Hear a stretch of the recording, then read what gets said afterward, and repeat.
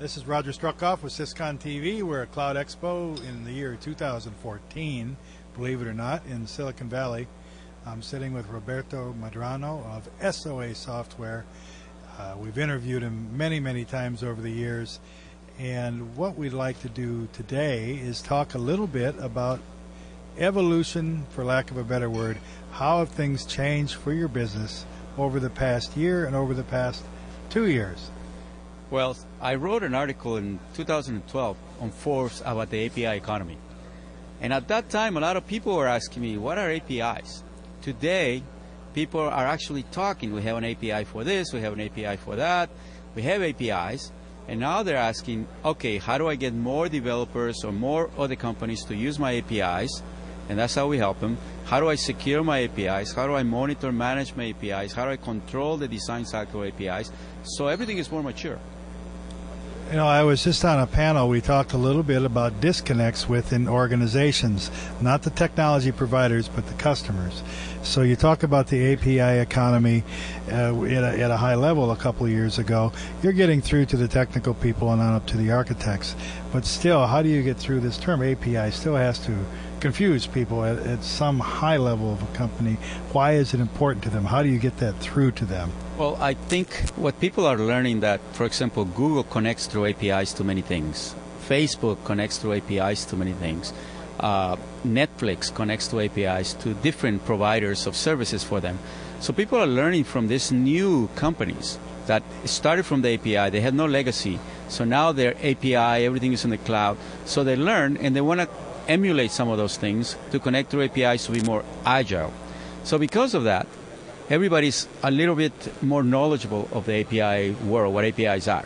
Now, it is true that there's two types of people. One is the IT people that want to do APIs for something internal within the API, and there's the product manager people that want to do some uh, outside APIs for people to connect to them. And those are business product managers, marketing people that want other people. Imagine Netflix that wants to get other providers to connect to their APIs. Those are business guys. Imagine uh, Bank of America, for example, that wants to do APIs internally to connect the infrastructure to the new apps. That's internal for the IT. There's two different groups, but everybody's more knowledgeable now. Speaking of knowledgeable, it, it occurred to me uh, about services. So SOA at one term was radical thinking. Um, and now, uh, have we gotten to the point where at what point, what percentage of people have gotten to the point where they now think of services as software, as that's what's developed instead of applications? You know, have we gotten to that point finally where just the notion of a services oriented architecture is so commonsensical that, that they can move beyond? Well, the thing that helped quite a bit was the cloud. When people start talking about the cloud, they start talking about cloud services.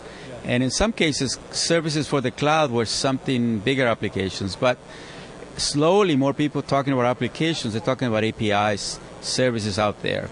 And APIs are a service, it's part of the service oriented architecture. And the people that go through those principles, which are SOA principles, they're the best guys to create an infrastructure that is good for cloud, good for mobile, good for IoT, and good for the DevOps, which is what this conference is all about. But with cloud, uh, how are people thinking about cloud? There's this issue of control that keeps coming up. Are you hearing much about the public-private hybrid sort of debate? What you know, um, what sort of conversations do you have about that? Well, for us, the cloud at the beginning, five, uh, many years ago, yeah. a lot of people were talking about public. But since we, sell, we started selling to a lot of banks, a lot of health organizations, those people did not want to put a lot of data on the cloud, so they wanted to put something on premise. So we started selling to people on premise quite a bit. So we have 300 of the Fortune 1000 companies. A lot of them were on premise, but lately, over the last 12 to 18 months, now we have a series of people that have hybrids. They have on premise something with a gateway, for example, and they have a community manager or portal up there to do connectivity with uh, B2B partners or with other people they want to connect to or just whomever they want, for example. So that's working now. And then finally, the IoT. How's the Internet of Things uh, affecting your business? Well, IoT is even more dramatic because uh, some of us go beyond API. So if you think about services, service-oriented architecture. We start with web services, then uh, it's being used by through the mobile revolution. Uh, started used with REST. Now IoT is using other protocols and partially REST to communicate device to device, and those had authorization principles, identity.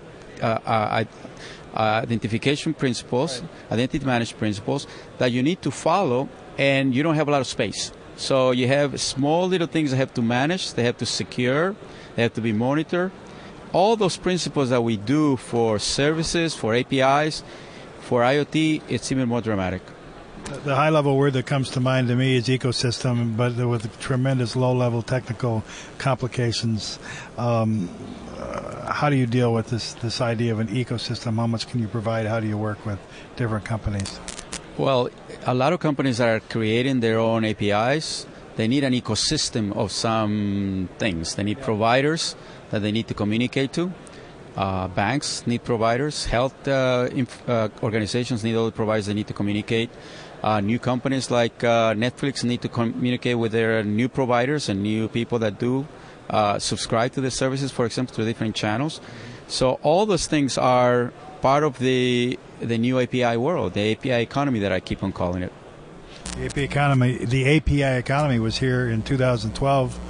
It's still here. And It's going to be here, I think, the next time we talk to you. We've been sitting for a few minutes with Roberto Medrano of SOA Software.